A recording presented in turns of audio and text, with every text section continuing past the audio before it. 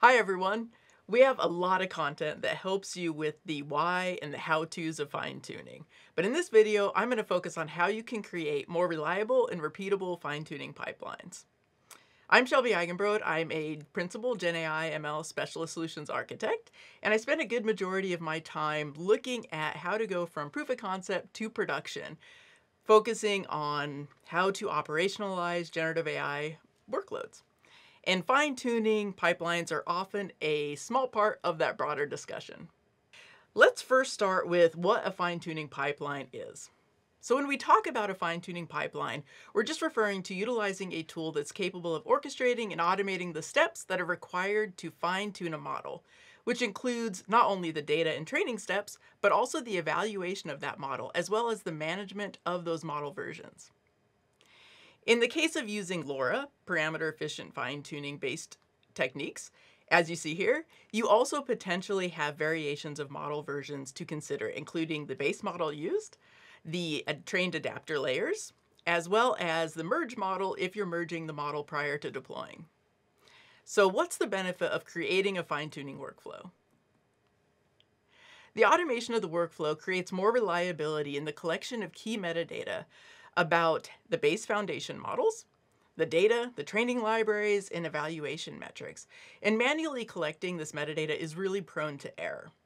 There's also more reliability in the processes used to tune and evaluate as well as the technology used, so things like libraries that are used as part of your fine-tuning workflow. Pipelines also provide the increased ability to repeat the workflow. This is especially true when you're regularly performing fine-tuning activities based on feedback or in use cases like hyper-personalization. The second benefit is increased traceability. I spoke about improved reliability and having a consistent way to collect metadata, but this also helps with things like increased transparency into providing insights about how that model was fine-tuned.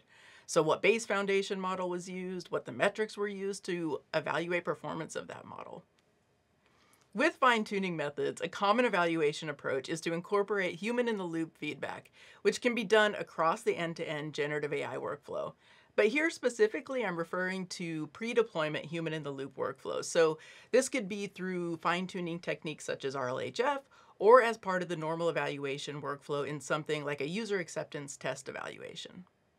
Either way, being able to efficiently integrate human feedback is important to a fine-tuning workflow.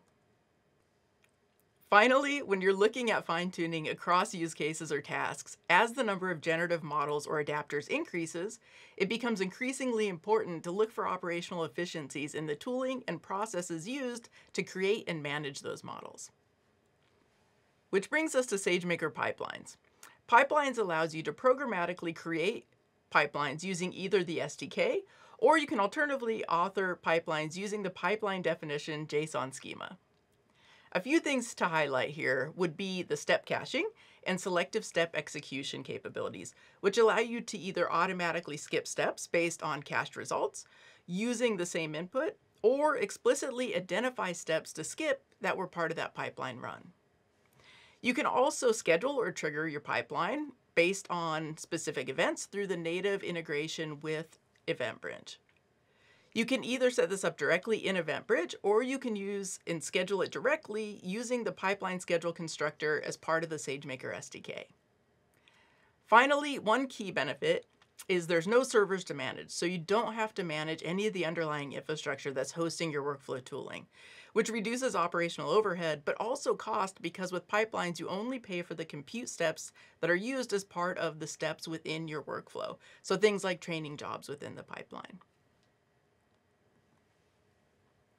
Pipelines includes typical steps that you'd expect as part of a pipeline tool, such as you know conditional steps and the ability to explicitly define custom dependencies between steps, but pipelines also includes native steps that allow for easy integration with most of the SageMaker features that are commonly used as part of these automated workflows. These supported steps are kept current with the latest and greatest SageMaker capabilities. And this list here contains a view of the natively supported steps which are included in SageMaker pipelines. So things like processing for data preparation, SageMaker training jobs for model training, but you'll also notice inside here Pipelines does extend to other AWS services like Lambda or EMR, as well as the additional flexibility to include tasks that are executed through jobs on other AWS services or jobs outside of AWS through the callback step. Pipelines can be visualized within Studio like you'll see in the demo, but you see here how incorporating these fine-tuning steps into a pipeline workflow, we're able to rely on SageMaker pipelines to reliably capture that key metadata that we talked about before, about not only the pipeline itself, but also the steps within the pipeline. Finally, one other key benefit to mention includes the more recent release of our simplified developer experience for pipelines, which allowed for the ability to easily execute pipelines from the SDK, like I previously mentioned, but also enabling developers to more easily create pipelines through the use of a new step decorator, which allows you to wrap your Python function code using the step decorator and have pipelines automatically convert that into a step within your pipeline. The simplified developer experience was created because customers were looking for easier ways to author pipelines. So this new step decorator allows you to easily wrap your Python code into a step decorator, then either let pipelines infer the step order based on pipeline dependencies, or you can also explicitly highlight dependencies between steps. Let's look now at a fine-tuning pipeline through a demo.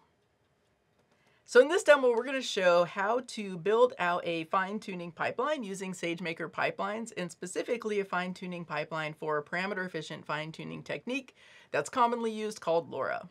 And for this, we're just going to use kind of an out-of-the-box data set, a sample data set, to show how you can fine-tune using SageMaker pipelines and create that repeatability, reliability in your fine-tuning workflow.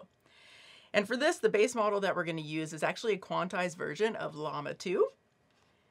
And if we look at the detailed architecture here, this is what the fine-tuning pipeline will do. So it's a simple pipeline that's going to take our base foundation model and a fine-tuning data set that we provide. We're going to pre-process that data set.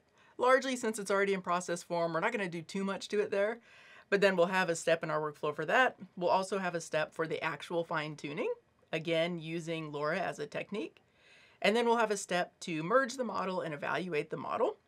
And keep in mind here, we're going to show you custom code for evaluation in this particular demo, but you can also use our um, evaluation library as well to do this. Uh, we'll also have a conditional step that's going to check whether the relevancy score, which is the, the evaluation metric that we're looking at, is above a certain threshold. If it is, we're going to go ahead and register that model. And we'll talk a little bit about how we'll register that model, considering with adapter-based fine-tuning, you have both the foundation base model, you have the adapter weights, and then potentially the merged model if you're choosing to merge before loading and deploying. So we're going to skip over some of the general setup, which is just installing libraries specific to this notebook in this demo. But we'll go into here some of the one-time setup that we did in the model registry. So there is an example notebook that will be provided, but inside Model Registry, which is a managed service within SageMaker for collecting key metadata about a model version. So not only how it was built in terms of, you know, the containers, the algorithms used, the model artifact itself, as well as evaluation metrics. So with model registry, one thing I want to point out is there is this notion of model collection, which is a hierarchy of models. And a really good use case for using these model collections happens to be these uh, adapter weights. So you'll see inside here, if we look at this diagram, we will load the base foundation model into model registry. So that way we know the exact version of the foundation model that was used for this fine-tuning workflow. We'll also, we've created a model group. So this is done in that first notebook. We've created a model group for those fine-tuned models and created a model collection so that we could actually have that collection of adapter weights grouped together logically within the model registry. And you'll see when we actually go to deploy out in this particular picture, we won't show a deployment workflow here, but when you do go out to de deploy out in terms of model management here, you're combining that base model so you know what is all the relevant metadata about that base model and you're combining it with all the relevant data about either your fine-tuned weights, so those adapter weights, or merge models in the case if you're merging it before loading and deploying that out. So that way we know for every single deployed fine-tuned use case that's out there, we know the base foundation model metadata as well as the adapter weights. So within this, we're just using a dataset canned out-of-the-box dataset for the sample. Um, so we're just identifying that within there. And then here's we're going to actually go ahead and create that fine tuning pipeline. So you'll see here we're going to use that step decorator, which you'll notice essentially we're wrapping our Python code for a particular step with that step decorator, which SageMaker pipelines will automatically convert into a step within your workflow. So first we do have to set up each step, right? So every step in your pipeline has some type of code backing it. So the first step here is to pre-process the data set. So in this case here, you'll notice what we're doing in this particular function that we're going to wrap with that step decorator so it becomes a step in our pipeline is we're loading the data set from S3. We're going to split that data set into a train test validation data set split. We're going to initialize a tokenizer and then tokenize and chunk the input data.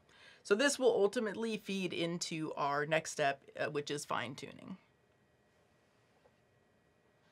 So if we look here, you can see this is where the step decorator comes into place. So this is all you need to essentially take your Python logic, logic that's performing a particular task within your workflow and wrap it into a step inside your pipeline. So this is the step decorator. And then this is all the Python logic that performs that data pre-processing. So once we've set that step up, we can then go on to our next step, which is the training step. So once again, inside this one, we're taking the input of those data sets that we just created. Uh, we're taking the base foundation model, of course, right? Because we need that for fine tuning, as well as the training parameters. So these are the fine tuning parameters we want to use for fine tuning.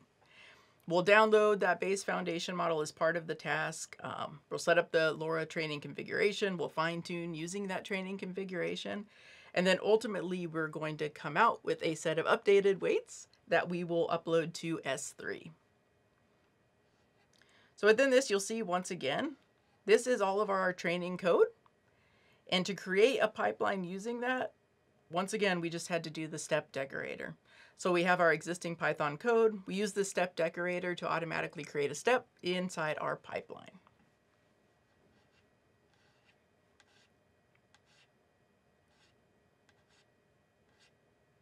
we just keep scrolling.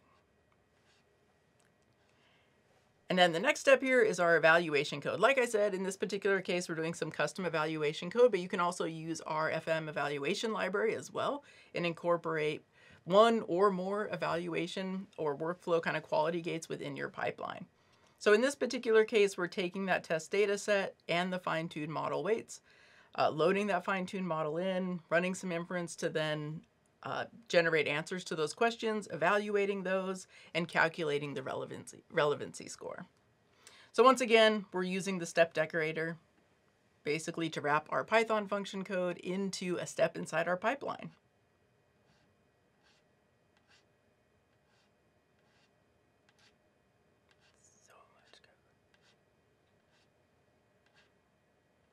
And then finally, we're creating a register model step. So assuming that our model passes that conditional check, right? Where the relevancy score is above a certain threshold, we'll then go ahead and register the model into the model registry. So this again is our register model function code wrapped with a step decorator where we will go ahead and register the model if it is um, meeting the threshold that we've established.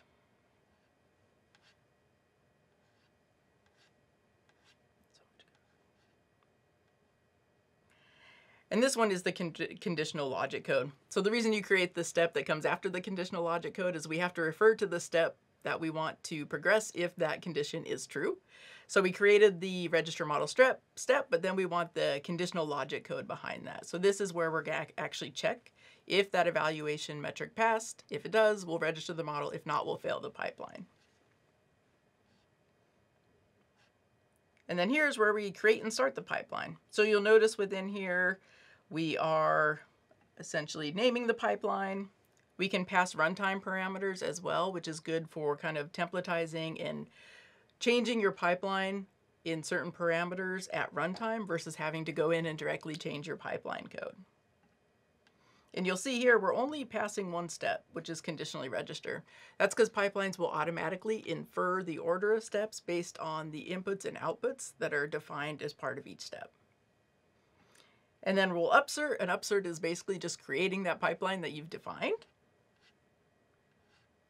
And then we'll start the pipeline. So here is the start of the pipeline execution. And you can programmatically get the status of the pipeline from a local environment, from your notebook, but you can also visualize the pipeline in the pipeline execution directly inside Studio. If we go into our pipelines, let me go into one execution. So this is that pipeline reflected through a DAG, so a visualization. You can see these are all the steps that we created, the status of each step. Green is it passed. Then if you click on the step similar to what we saw in the presentation, you can see different metadata about each step as well. So that was it. We created a fine-tuning pipeline using the simplified developer experience that allows us to wrap our Python code with the step decorator to automatically create those pipeline steps. And in terms of considerations for deploying to higher level environments, so now that you have that, those fine-tuned weights, there's a couple different options, right? The first option there is deploying the merge model, and this is what is done in the demo code, where we essentially merge that base foundation model with the adapter weights prior to deploying those out. The other option is to deploy the base foundation model and fine-tune weights separately. So each has advantages and disadvantages, which I know are covered in other deep dive videos. Uh, but one thing to consider there is incorporating that with your own CD pipeline to then go out and provision the infrastructure as well as the related services for the deployment part of your workflow. In the demo we just did, you saw how to create a fine-tuning pipeline using SageMaker pipelines and then register that base model and the model's adapted weights into SageMaker's model registry where it can then be deployed using a continuous delivery or continuous deployment pipeline. The other thing you should consider automating within your workflow is the creation of a model card from a governance perspective to be able to document the intended use of the model, whether that is the merged model or the adapted weights, as well as capturing model documentation such as risk ratings. One other extension to the pipeline you saw would be to integrate this workflow with SageMaker projects to further standardize and templatize the workflow, setting up any of the standard integrations that you would need automatically, as well as incorporating source and version control for your code. This example is focused on a case where you're doing regular fine-tuning of a foundation model, which provides traceability and reliability, but another use case we discussed where these fine-tuning workflows would be useful is in personalization. So in this case, you may be creating personalized models similar to what you see here in terms of an avatar generation use case. So in this case, you need the ability to scale out the pipelines as well as create a repeatable, reliable process that scales across personalization use cases. So this is actually handled by SageMaker Pipelines as a managed service and the ability to scale out multiple pipelines in parallel. Finally, I want to leave you with some resources, starting with a GitHub repository with a lot of different code examples, including those specific to operationalizing your generative AI workflows, which includes fine-tuning pipelines as we discussed here today. Second, there's a link to documentation for SageMaker pipelines and more specifically the step decorator simplified experience that we went over today. Finally, in our examples and demos, we showed SageMaker's model registry for cataloging and managing models at scale. However, this blog here goes into a bit more detail on some considerations for model version management, specifically on some of the more popular parameter efficient techniques. In this case, what we focused on was LoRA. So in this video, we went over what a fine-tuning pipeline is, what the benefits of building a fine-tuning pipeline are, as well as the benefits of utilizing SageMaker pipelines to build out those fine-tuning workflows. As well as some resources to follow up on if you want to dive deep and get your hands on some of the tooling, feel free to follow along in some of those code examples we provided. And as always, thank you so much for your time and reach out on LinkedIn. I love connecting with others in the space.